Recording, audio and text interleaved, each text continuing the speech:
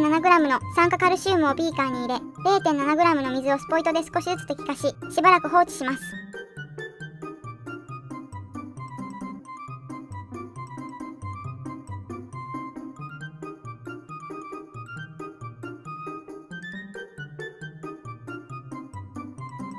酸化カルシウムをスプーンで触りボロボロになることを確認します。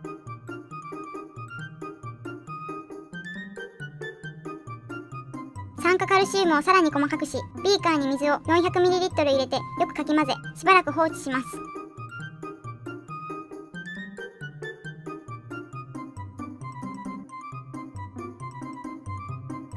ビーカーの上澄み液を3つのプラスチックコップに取り分けます。二酸化炭素カーのノズルをビニール袋に差し込み二酸化炭素を袋に入れます。ストローで袋の中の気体を取り分けた石灰水の一つに入れ様子を観察します。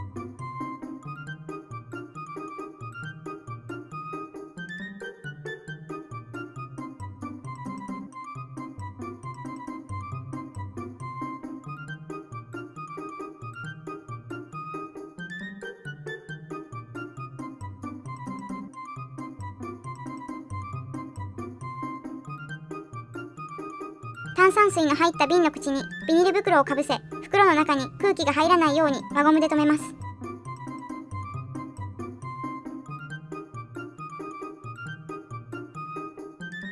瓶を振りビニール袋が膨らむことを確認します。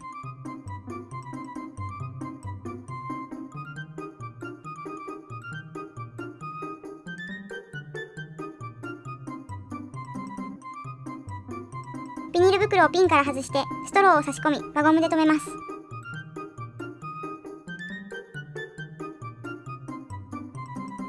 ストローで袋の中の気体を取り分けた別の石灰水に入れ様子を観察します。